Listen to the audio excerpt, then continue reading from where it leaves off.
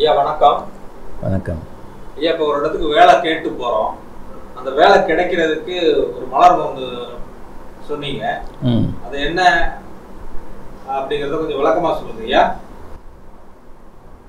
மலர் மருந்து அது பேர் ராக்ரோஸ் காம்பினேஷன் பேர். அதை போட்டுட்டு போகும்போது இன்டர்வியூவில் இப்போ இன்ஜினியரிங் படிச்சிருக்கிறாங்க நூறு பேர் படிச்சிருக்கிறாங்கன்னு வைங்க. நூறு பேருமே இன்ஜினியர் தான் படிச்சிருப்பாங்க.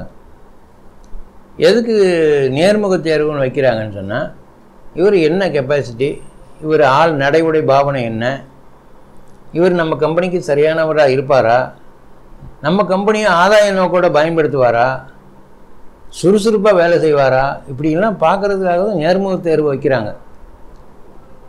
அது ஆயிரரூபா சம்பளமாக இருந்தாலும் சரி பத்து லட்சம் சம்பளமாக இருந்தாலும் சரி ஒரே ஒரு விஷயம் நேர்முக தேர்வில் ஜெயிக்கிறதுக்கு இந்த மலர் மருந்து காம்பினேஷன் நான் கொடுத்து விட்டுருக்க வரைக்கும் எல்லா இடத்துலையும் ஜெயிச்சிருக்கிறாங்க. ஜெயிச்சதை பயன்படுத்தியிருக்கிறாங்க. அதுக்கு நன்றி நிறைய பேர் சொல்லியிருக்காங்க எனக்கு. என்ன நடக்கும்னு சொன்னேன்னா எல்லோரும் இன்ஜினியர் தான் நூறு பேர். அதில் நாலு பேர் தான் எடுக்க போகிறாங்க அந்த நாலு பேரில் நூற்று நாளாக நம்ம ஒரு ஆளாக வந்து நிற்கணும் இந்த மலர் மருந்தை பயன்படுத்திட்டு போகும்போது இன்னும் சொல்ல போனோம்னா அவங்க எந்திரிச்சு நின்று கை கொடுப்பாங்க. பேசுகிறதுக்கு முன்னாடியே. உங்களை நடந்து வர்ற தோரணைகள் செயல்கள்லாம் பார்த்து தான் நாங்கள் கை கொடுக்குறோம். உட்காருங்க.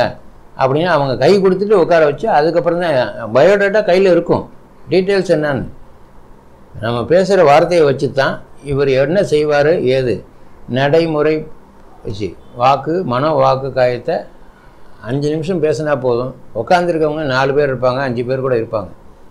எல்லார் கேள்விக்கும் பதில் டான் டான் வரும். ரெண்டாவது என்னென்னா நமக்கு என்ன தெரியுமோ அந்த கேள்வியை தான் அவங்க கேட்பாங்கன்றது தான் இந்த மலர் மருந்து காம்பினேஷனோட விசேஷம். அதனால் நேர்முக தேர்வில் நிச்சயமாக அவங்க வெற்றி அடைவாங்க பயன்படுத்துங்க. வாங்க. நன்றி வணக்கம்.